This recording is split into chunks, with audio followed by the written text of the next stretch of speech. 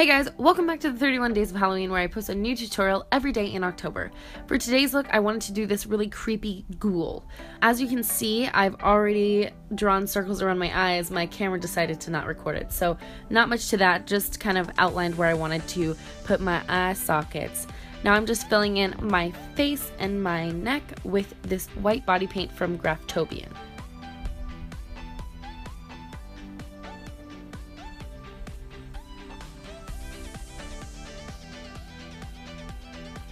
So I'm painting my neck right now, but to be honest, I end up filling it in with black. So if you guys want to skip this step, you can. If you want to keep it white, you can do that too. But I just want to let you know that I did fill it in black later on.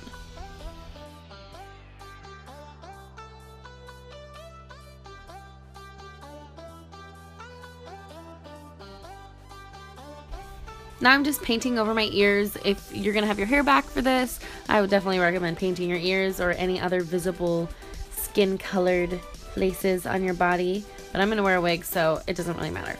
Now I'm just filling in my eye sockets with this black body paint from Graftobian.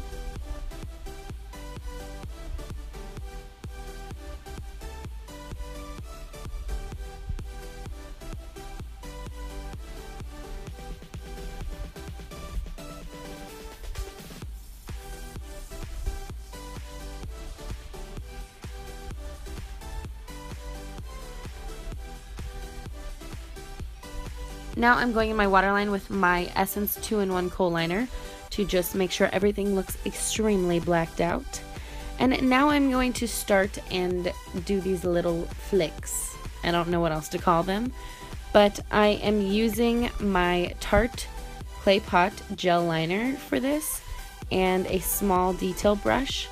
And basically what I'm doing is leaving a little bit of space for the first go around and then filling those gaps in on the second and the third go arounds. It's kind of just all to your preference.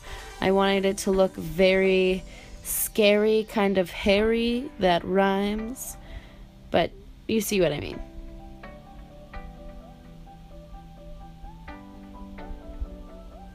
And to be honest, guys, this look is pretty easy, and I feel like it's kind of like, quote, impressive looking because it looks like you, you know, spent a whole lot of time on it, but really it doesn't take very long and it's pretty simple. So I would definitely think this would be a fun Halloween makeup to wear. Now I'm just filling in my eye sockets with black eyeshadow and then going over my lips with a red body paint from, you guessed it, Graftobian.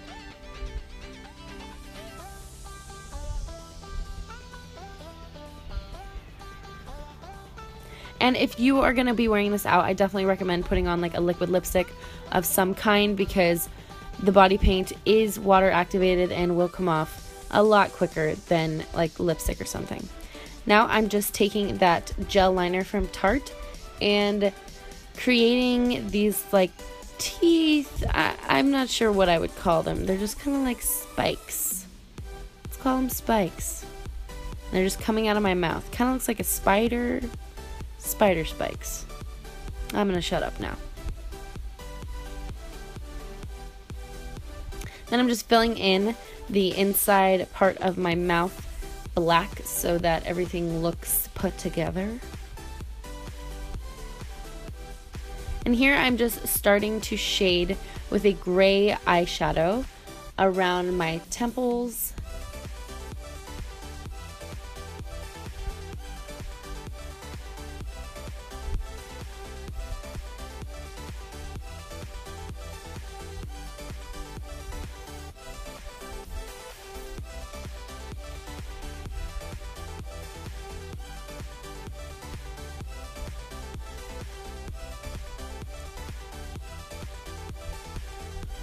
Now I'm just mapping out where I want my cheeks to go. I wanted them to look really hollowed out and very kind of angular. So I'm just using this fluffy eyeshadow brush and that gray eyeshadow and going in and carving those out. Then taking a darker gray eyeshadow and going over the top at the very, very, very top of the line of my cheekbone just to really define it and then blending downwards.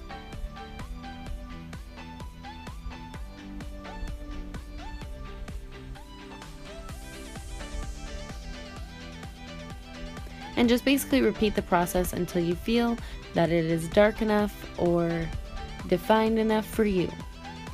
Now I'm just going underneath my jaw to just carve that out a little bit. I find that when you're doing kind of a skull look, it helps to kind of carve out parts of your face that you typically wouldn't because that's what skulls look like. Now I'm just going in with a black eyeshadow and going over just the very top of the cheek carvings. Cheek carvings? Okay. Just to give it some real definition, make it look like it's kind of popping out. And then blending just slightly downwards. Not anything too crazy. You don't want to fill the whole cheek in with black. Just a little bit of blending will go a long way. Now I'm taking that black eyeshadow and going on tops of my forehead to really darken things up and kind of like shape out that skull. If that makes any sense. Probably doesn't. I also decided to add these little dimples in the skull. It was actually a happy accident and uh, it ended up just being there and I went with it. So, dimples. Now I'm sketching out my neck bones. And basically what I'm doing is just drawing two lines and then drawing tiny little triangles. I saw this on YouTube from a girl and this is just a really, really simple way to create those vertebrae. So basically just drawing two little triangles on either side and as you can see it's kind of just forming the vertebrae bones.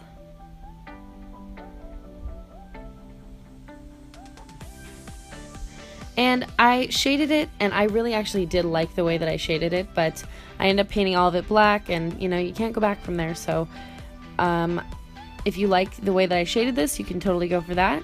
But I do end up painting the rest of it black. I'm just shading on each of the vertebrae um, just to give it a little bit more dimension.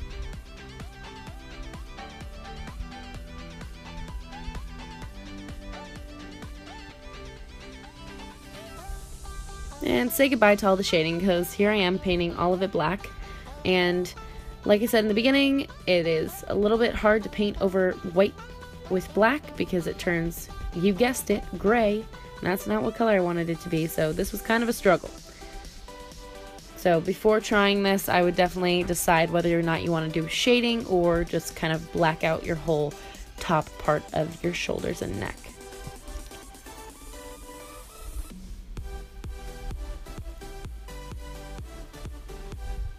After blacking all of that out, I'm going over it with a black eyeshadow to really get it to be opaque and dark as possible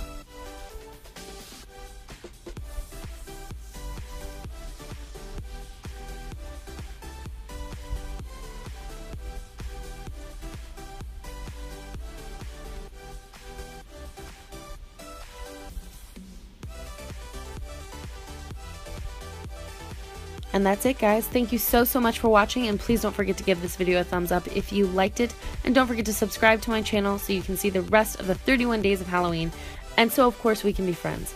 I will see you guys tomorrow.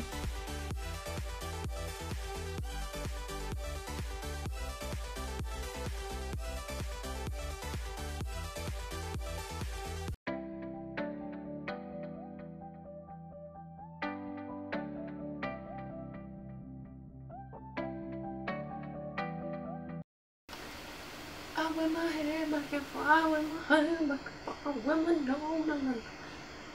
Eh.